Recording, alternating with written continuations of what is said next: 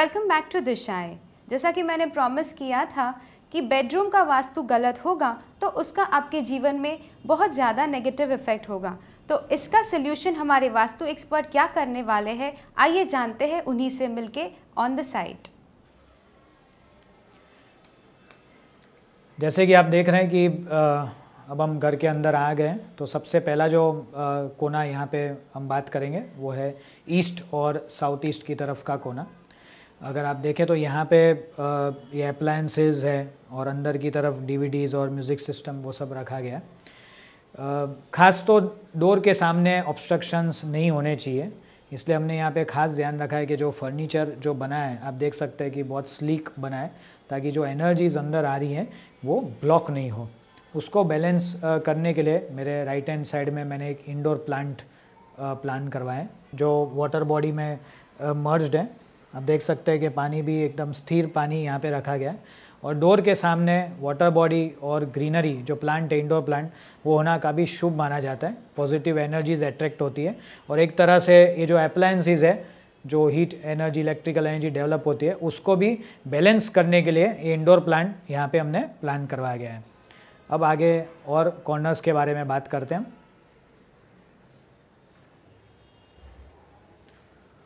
यहाँ पे अगर आप देखें, अब हम नॉर्थ और नॉर्थ वेस्ट की तरफ़ हैं। जैसे कि मैंने बताया कि यहाँ पे एंगुलर डायरेक्शन से तो वायव्य कोण जो है वो सामने की तरफ़ आता है। यहाँ पे कुछ पेंटिंग्स हमने सिलेक्ट करके खास लगवाई हैं। अगर आप देखो तो इसमें जो है, वो भी स्थिर पानी बताया गया है। एक वाटर बॉडी है, क्योंकि नॉर्थ और नॉर्थ वेस्ट की तरफ़, खास करके नॉर्थ की तरफ़, क्योंकि जल तत्व की दिशा है तो कुछ वाटर बॉडीज़ रखी गई है। ऊपर की तरफ़ आप देखो तो इसमें लोटस या एक पॉन्ड बताया गया है, जहाँ पे अच्छी ग्रीनरी बताई गई है, जो एग्जैक्ट डोर के डायगनली अपोजिट वायव्य कोण में आती है। इस तरफ़ जो एक ग्रीनरी एक अच्छा आउटडोर हाउस बताया गया है, जो एक स्टेबिलिटी बताता है। एक इस घर के जो इनमेट्स है, इनके बारे में बताता है कि कितने प्रॉस्पर हो रहे हैं। और दूसरा, एक परदेश का यहाँ पे एक चित्र बताया, क्योंकि हमारे जो क्लाइंट है, उनकी डॉटर खास करके परदेश वो जाना चाहती थी अपने आगे फ्यूचर बिज़नेस के लिए। तो ये लगाने के बाद उनको काफ़ी सक्सेस मिला और तुरंत उनको वीज़ा भी उनका पास हो गया। और अब वहाँ पे वो सिंगापुर में सेटल्ड है and she is prospering very nicely in her career तो ये कुछ एलिमेंट्स आपने देखा कि हमने यहाँ पे वाटर बॉडी ये ग्रीनरी इंडोर प्लांट्स और ये सब दरवाजे के ठीक सामने और डायगनी अपोजिट जो वॉल है, उधर हमने प्लान करवाया है। मेरे को घर में उन्होंने जैसा वास्तु कहा ना, वैसे चेंज करा उन्होंने। जैसे बोलते गए, वैसे हम चेंज करते रहे। जैसे कि आप देख रहे हैं हॉल रूम में के जो नॉर्थ वेस्ट कॉर्नर है, वहाँ पे एयर कंडीशन इंस्टॉल किया है। जो भी कूलर्स है एयर कंडीशनर्स है, वो नॉर्थ वेस्ट की तरफ़ या वेस्ट की तरफ़ आप इंस्टॉल कर सकते हैं। तो यहाँ पे हमने ध्यान रखा है कि नॉर्थ वेस्ट कॉर्नर में एयर कंडीशनर इंस्टॉल हो। उसके बाद जो नेगेटिव जोन्स हैं, यानी कि साउथ साउथ वेस्ट और वेस्ट उसमें हमने बैठक प्लान करवाई है। आप देख सकते हैं साउथ की तरफ़ साउथ वेस्ट और वेस्ट की तरफ़ सोफ़ा सिटिंग्स हैं।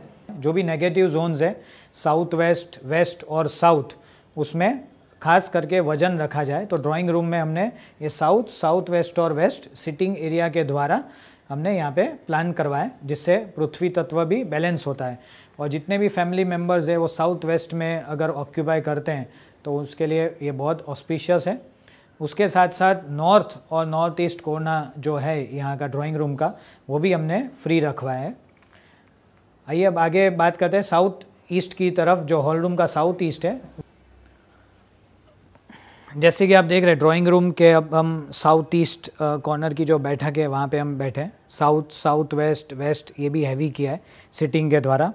यहाँ पे हम और एक तत्व जो है अग्नि तत्व वो कैसे बैलेंस करें वो भी हमने खास ध्यान रखा है।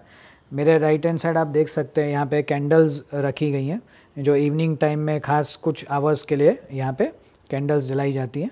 और इस तरफ़ आ, मेरे लेफ़्ट हैंड साइड में लैम्प जो है वो वहाँ पे लिट करते हैं।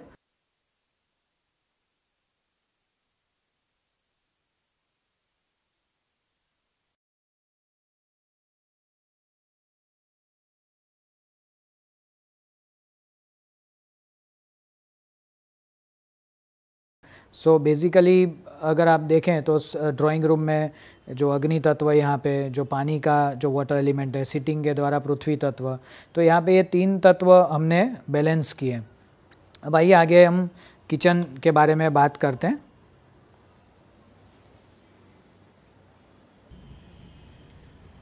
जैसे कि आप देख रहे हैं कि घर का मध्य भाग है किचन से पहले घर के मध्य भाग को जिसको ब्रह्मस्थल बोलते हैं पहले के समय में जो ब्रह्मस्थल होता था, उसमें आँगन हुआ करता था, जो आकाश की तरफ़ पूरा खुला रखते थे। बट आजकल जो हाई राइजेज और बिल्डिंग्स बनने की वजह से, अब ब्रह्मस्थल का, यानी कि आकाश तत्व का तो लाभ उतना नहीं मिल रहा है। पर एटलीस्ट जो इसकी एक रेमेडी है, जैसे कि पहले के घर में हमने बताया था आपको कि जो सेंटर में डोम क्रिएट करवा गया था फॉल सीलिंग के द्वारा और यहाँ पे हमने क्योंकि फॉल सीलिंग पॉसिबल नहीं था, इसलिए हमने यहाँ पे एक प्रॉपर्टी यूज़ की है, जो एक सेंटर में काफ़ी ऊर्जा देती है, काफ़ी लाइट और ब्राइट बनाती है उसको, जो कोनिकल शेप में जाते हुए डोम की तरह। और साथ ही में यहाँ पे जो भी फ्री रखा गया है। कोई कंस्ट्रक्शन या कोई भी कैबिनेट वगैरह यहाँ पे नहीं बनवाए। चारों तरफ़ यहाँ पे फ्री रखा है। क्योंकि ब्रह्मस्थल आइडियली जो घर का मध्य भाग है, वो रिक्त होना चाहिए फ्री होना चाहिए। वहाँ पे कोई भी हैवी चीज़ ऐसी कंस्ट्रक्ट नहीं करनी चाहिए। यहाँ पे हमने इस बात का, इस घर में खास ध्यान रखा गया है। आइए, अब आगे और डिस्कस करते हैं। वास्तु में नॉलेज तो हो गई। दो तीन महीने तो लग गए। दो तीन महीने के बाद ही असर आना शुरू हुआ है। जैसे वो पूजा के लिए कहते थे, वैसे करते थे। और गणपति जी की जैसे एंट्री में गणपति जी की फ़ोटो लगाई और एंट्री के बाद दोनों टाइम गणपति की फ़ोटो लगाई, उससे काफ़ी फ़र्क पड़ा। और ये मिरर चेंज करा बेडरूम का भी चेंज करा, थोड़ा चेंजेस उन्होंने बोले, और किचन का भी चेंजेस करा। अब बाथरूम का उन्होंने बोला, वो चेंज करा। पर मेरी हेल्थ में बहुत फ़र्क पड़ गया। मेडिसिन भी एक टाइम असर करना बंद कर रही थी इनके इनके वास्तु से मेरे को मेडिसिन भी कम हो गई। अब मैं इनके वास्तु से इतना खुश हूँ, मैं सबको बोलती हूँ कि इनका वास्तु कराओ तो बहुत बेनिफिट होगा। जैसे कि आप देख रहे हैं, किचन के जो अग्नि कोण है साउथ ईस्ट डायरेक्शन एग्जैक्टली उसमें बर्नर यानी कि गैस रखवाया गया है।